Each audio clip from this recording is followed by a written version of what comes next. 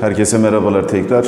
Yeni bir derste karşınızdayız. Bu derste Mondros Ateşkes Antlaşması'nı ve sonuçlarını göreceğiz. Bir önceki derslerde Osmanlı Devleti'nin savaşmış olduğu cepheleri ve o cephelerin özelliklerini görmüştük. Şimdi Osmanlı Devleti'nin Birinci Dünya Savaşı'ndan sonra imzaladığı Ateşkes Antlaşması'na ya Mondros ateşkesi denir ya da eskilerin deyimiyle Mondros mütarekesi denir. Terk etmeden gelir mütareke, silah terk etme anlamında kullanılır. 30 Ekim 1918 günü imzalamış. Şimdi Osmanlı'yı bu sürece götüren bir takım şeyler var. Bir tanesi Bulgaristan'ın savaştan çekilmesiyle beraber Osmanlı yardım gelmemesi. İkincisi Osmanlı Devleti'nin zaten ekonomik olarak bu savaşa devam edebilecek düzeyde olmaması. Üçüncüsü de haliyle e, Osmanlı Devleti'nin Wilson ilkelerine güvenip savaştan çekilmesi etkili olmuş. Şimdi Mondros Ateşkes Antlaşması'nın imzalandığı yer Yunanistan. Yunanistan'ın bir adası var, Limni adası. İşte o Limni adasının Mondros limanında imzalandığı için tarihe Mondros Ateşkesi diye e, geçmiş ve e, şu ana kadar tercih edilmeyen bir zırhlı var. Adı Agamemnon zırhlısı. Bu ateşkesin imzalandığı yer Yunanistan'ın Limni adasının Mondros limanının e, limanında demirli olan Agamemnon zırhlısında e, imzalanmış. Şimdi bu maddelere imza atanları görmemiz lazım. Önce e, şurada bu dönemin padişahı Osmanlı Devleti'nin aynı zamanda son padişahı olan Vahdettin'dir. Savaştan iki ay önce 5. Mehmet Reşat ölmüş, yerine 6. Mehmet Vahdettin gelmiştir. Dolayısıyla bize sorulduğu zaman hangi padişah dönemidir diye Vahdettin hükümet olarak Ahmet İzzet Paşa hükümeti döneminde imzalandı. Çünkü önceki hükümet İttihat ve Terakki hükümetidir. Yani e, Talat Paşa'nın başkanlık ettiği ama İttihatçılar savaşın e, kaybedileceği artık net olmaya başlayınca zaten hem istifa eder Talat Paşa hem de İttihat ve Terakkiciler yurt dışına e, kaçarlar. O yüzden Ahmet İzzet Paşa ve Ahmet İzzet Paşa kabinesi adına da dönemin Bahriye Nazırı Rauf Orbay imzalamış. Bu eskiden sorulmuş bir KPSS sorusu olma özelliğini taşıyordu. Bir de şunu da söyleyelim.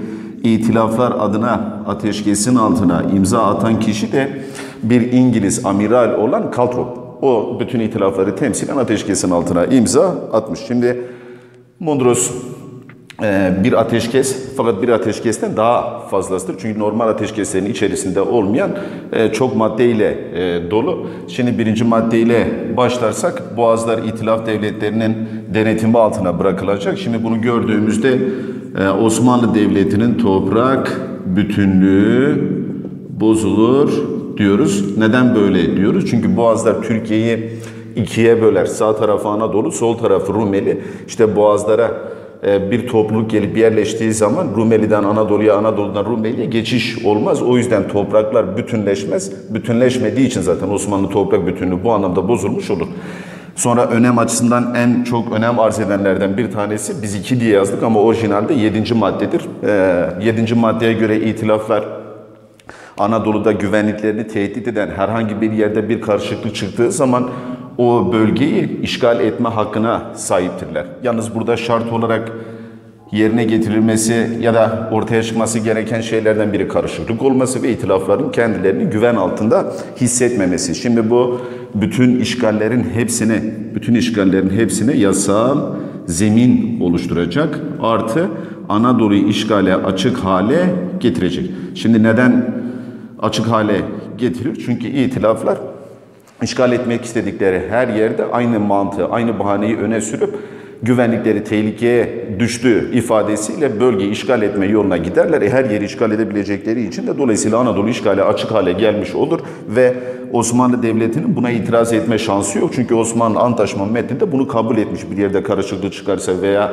güvenlik tehlikeye girerse burayı işgal edebilirsiniz diye. Dolayısıyla 7. madde en tehlikeli olduğu için Mondros'un 7'si ona ayrıca bir dikkat etmemiz lazım. Sonra onun devamı niteliğinde bize göre 3 ama orijinalde 24. madde yani vilayette, siddede karışıklık çıkarsa itilaflar o bölgeyi işgal etme şansına sahip olacak. Şimdi vilayeti sitte altı anlamında kullanılır. Biz bunu her tercüme ettiğimizde doğuda altı il diye kullanacağız.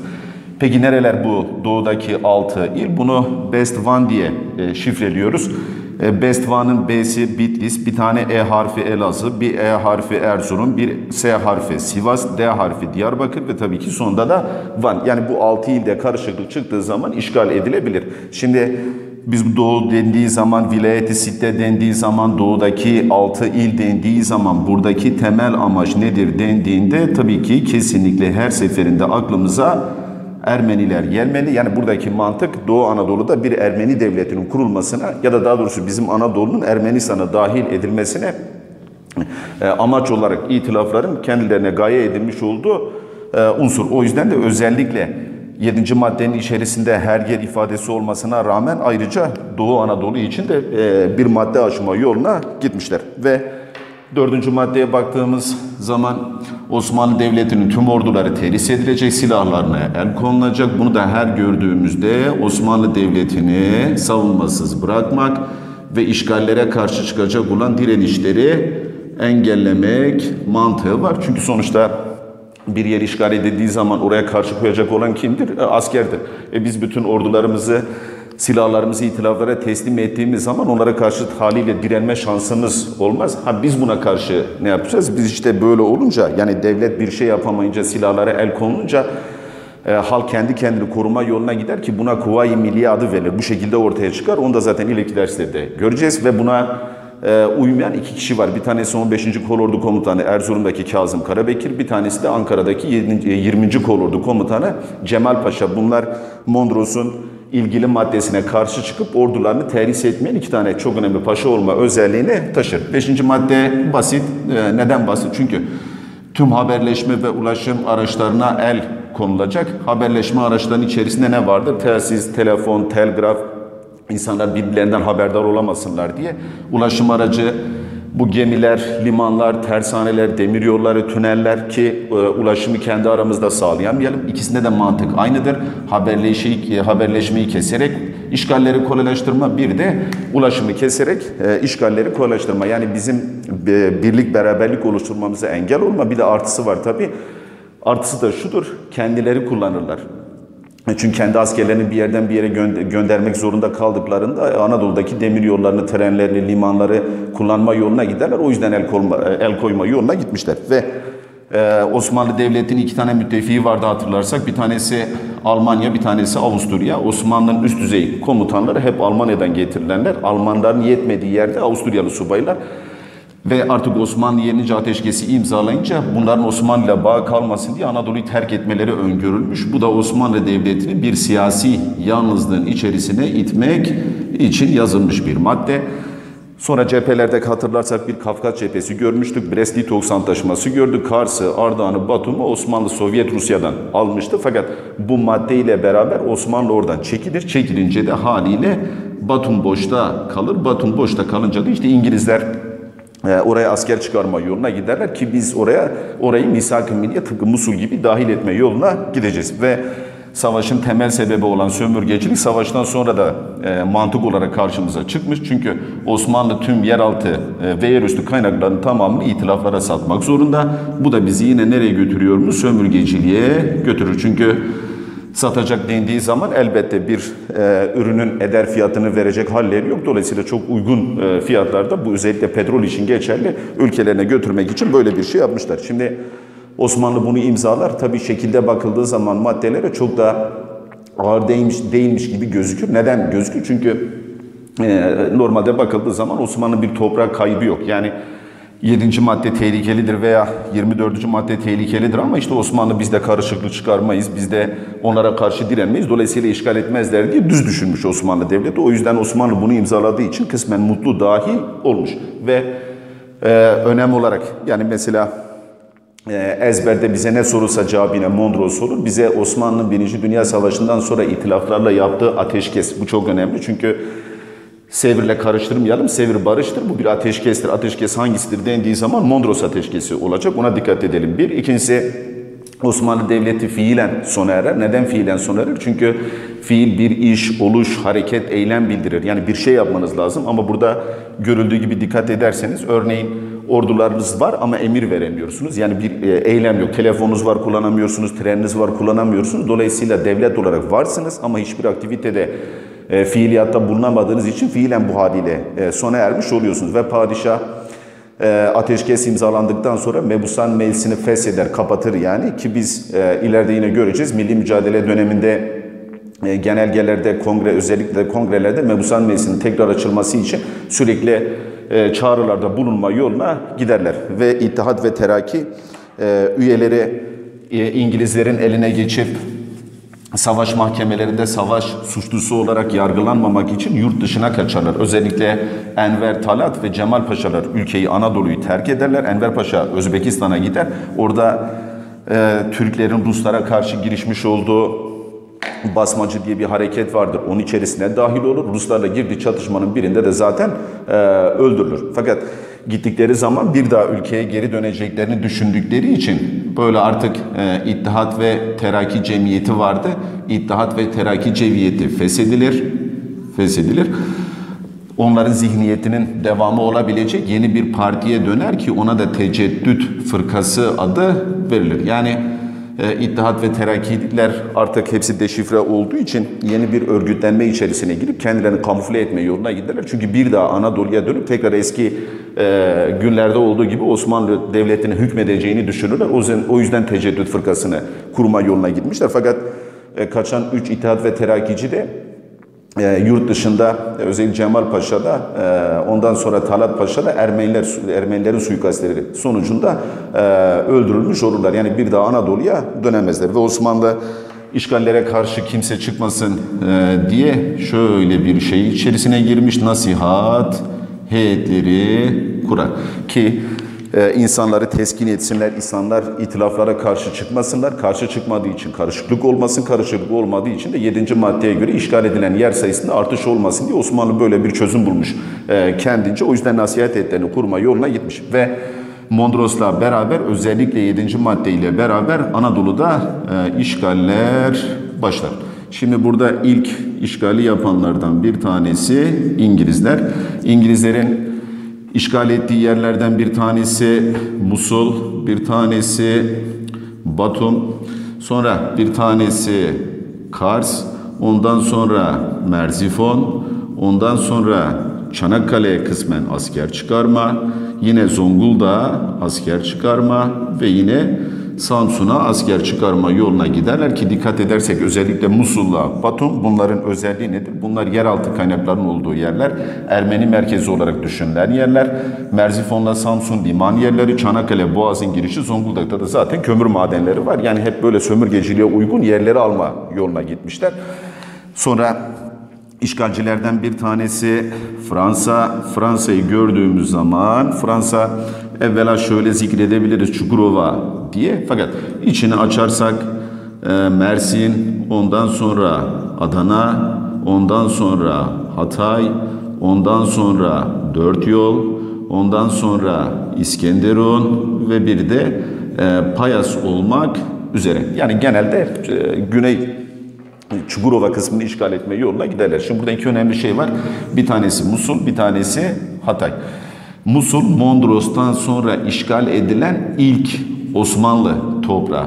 Sonra Hatay'ın özelliği nedir? Hatay, Mondros'tan sonra işgal edilen Anadolu'daki ilk toprak. Yani bize Mondros'tan sonra işgal edilen ilk şehir dendiği zaman Musul ama Anadolu'da işgal edilen ilk toprak dendiği zaman Hatay olacak. Çünkü Musul Anadolu'da değil. Ki Musul zaten 3 Kasım'da işgal edilme yoluna gidilir. Ee, Hatay'da 6-7 Kasım'da işgal edilme yoluna gidilmiş. O bile zaten e, önce kronolojide Musul, sonra Hatay ama soruyu soruşuna göre değişir. Coğrafyada kullanmadan ilk toprak derse Musul ama belirtirse Anadolu diye o zaman Hatay olur. Sonra Hatay'ın bir özelliği daha var. Ee, ilk direniş, ilk direniş burada ortaya çıkar. Kime karşı ortaya çıkar? Fransızlara karşı ortaya çıkar. Yani Anadolu'da Mondros'ta başlayan işgallere karşı ilk direniş nerede oldu derse Hatay dört yol e, özelliği bir köy var. Orada köylünün askerlere, Fransız askerlere direnişiyle başlar. E, bu ilk direniş ama bu sonuçta bir Kuvayi Milliye değil çünkü sistemli bir şekilde e, ertesi gün devam etmemiş. O yüzden bunu Kuvayi Milliye ile karıştırmayalım. Sadece ilk direnişin olduğu yer itilaf olarak Fransızlara karşı direniş gösterenler Hataylılar özelde de dört yol e, olma özelliğini taşır. Sonra yine Anadolu'da işgallerde bulunan e, bir itilaf devletimiz daha var.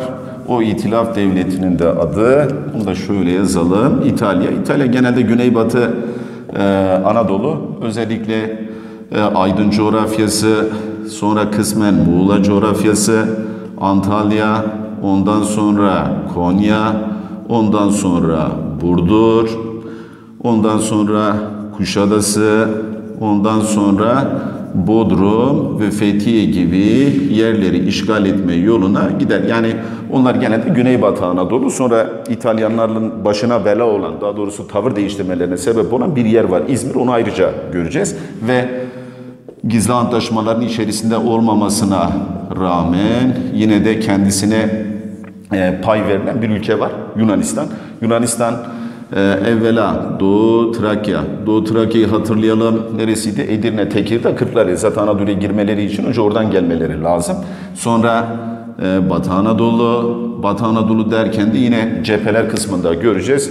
E, Uşak, Bursa, e, Afyon, Eskişehir, Kütahya, Bilecik hepsi dahil ama özellikle tabii ki kıyameti koparan yer e, İzmir'i işgal ettiklerinde ki bir dönüm noktası olacak bizim açımızdan bu da çok çok önemli ve tarihler 13 Kasım'ı gösterdiğinde 13 Kasım 1918'i tüm itilaf donanmaları ortaklaşa boğazlara boğazlara demirledi. Yani burada e, itilaflar e, her biri biraz asker, biraz e, savaş gemisi verip İstanbul'a Dolmabahçe'ye demirlerler. Aynı gün Mustafa Kemal Suriye Filistin cephesinden döner. Döndüğü zaman oradaki hareketliliği görünce yaveri vardır. Cevat Abbas ona sorar bu nedir diye. O da e, itilafların e, İstanbul'u işgal etmek için İstanbul'u kontrol altına almak için boğazlara demirlediğini söyler. İşte Mustafa Kemal meşhur sözünü söyler. Nedir o meşhur söz? Geldikleri gibi giderler. İşte Mustafa Kemal bunu ne zaman söylemiş? Mondros'tan sonra söylemiş. Ne zaman söylemiş? 13 Kasım 1918'de söylemiş. Ne zaman söylemiş? İtilaf donanmaları e, Dolmabahçe e, limanına gelip demirlediği zaman bunu söylemiş. Buna da özellikle dikkat edelim çünkü söz konusu olan kişi yine Mustafa Kemal olmuş oldu. Ve Mondros'la beraber e, işgalleri söyledik. Yalnız e, sonradan sıkıntıya sebebiyet verecek küçük bir mevzu var. Onu da e, şöyle izah edelim. E, şöyle ki şimdi Suriye protokolü diye bir şey vardır. Suriye protokolü. Bu Suriye protokolü diye ifade edilen şey e, iki devlet arasında olur. O devletlerden bir tanesi İngiltere, bir tanesi Fransa. Şimdi burada bir e, gizli antlaşmalarda değişim yaparlar. Yani e, Irak'ın tamamıyla Filistin, e, İngiltere'ye bırakılır. Yani Fransa bu kısım üzerinde hak iddia etmeyecek. Buna karşılık e, Fransızlara Suriye, Lübnan ve bir de Urfa, Antep ve Maraş verilir. Yani özellikle şurada kafamız karışıyor, orada kafamız karışmasın. Urfa, Antep, Maraş Gizli antlaşmalarda İngilizlere verilir. İlk işgal eden de İngilizlerdir. Ama 1919'da bu ikisi kendi arasında değiştirdiği zaman işgalci de değişir. Ee, daha sonra Fransızlara verilir. Dolayısıyla biz Urfa'da, Antep'te ve Maraş'ta e, özellikle e, savunmalar yaparken kime karşı yapıyoruz? Fransızlara. Çünkü İngilizler tarafından sonradan Fransızlara dahil edilmiş. Bu noktayı da özellikle söylemiş olalım. Ve bunu söylerken de yine bir dersimizin sonuna geliyoruz. Bir sonraki derste Paris Barış Konferansı'ndan ve İzmir'in işgalinden devam edeceğiz.